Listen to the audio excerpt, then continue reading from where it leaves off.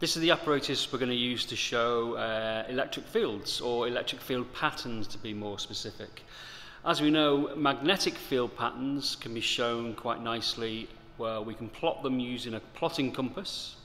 Uh, we can plot the magnetic field around a bar magnet or we can show them um, very quickly using iron filings. Okay, well this is very similar to the iron filings method, except this one is with electric fields. Now, instead of using iron filings, we need something that is charged, because as we know, it's, it's, it's, it's particles that are charged that feel a force in an electric field. And the stuff we're going to use is this stuff here called semolina. It's a type of grain. Okay? Uh, do not eat. Okay, right, now we're going to basically charge that up by just grinding it a little bit in a uh, mortar and pestle. I mean, two things. This this makes the uh, the particles smaller, which is nice, but also that rubbing, that friction against each other, gets them all nicely charged up.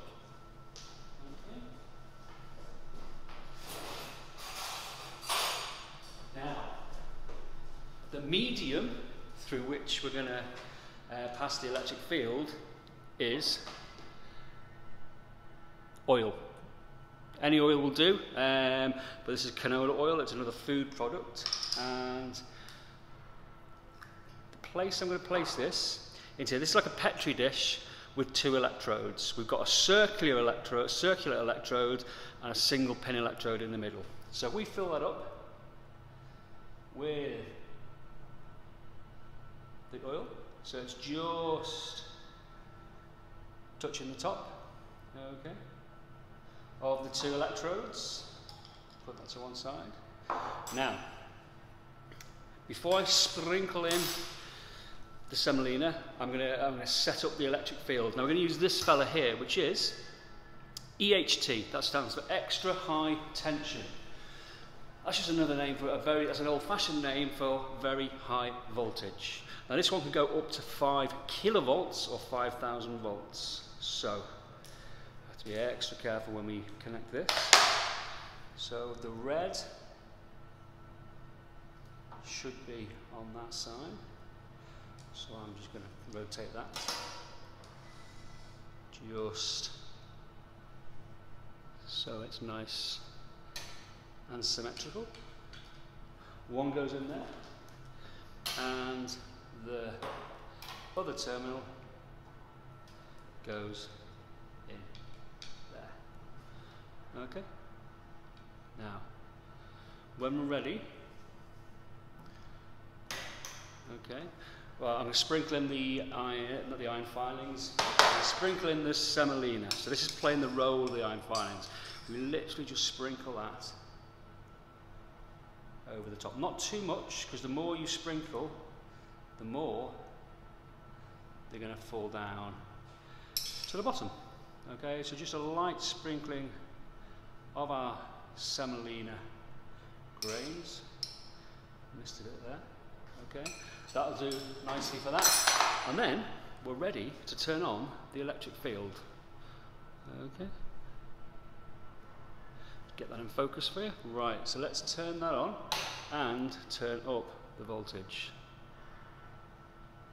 As we can see, just like the iron filings arrange themselves in a magnetic field, because they'll arrange themselves with the, the lines of a magnetic force, the, the little charged particles of um, semolina do the same in an electric field.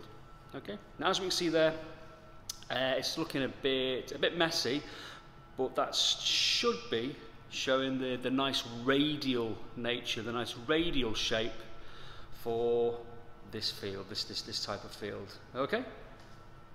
So let's turn that off. Let's disconnect.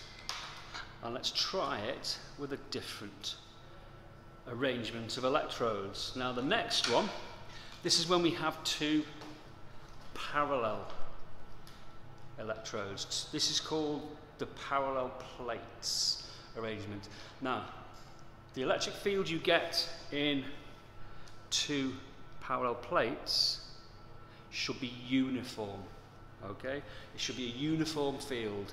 So let's see what we get with this one. So fill that up just to the top of the electrodes. And then, case of sprinkling on our semolina again. Okay. There you go. Beautifully, beautifully evenly sprinkled. Okay. Now, when we're ready, let's see what the field is like with this. So I'll just get that into focus for you. Okay, are we ready?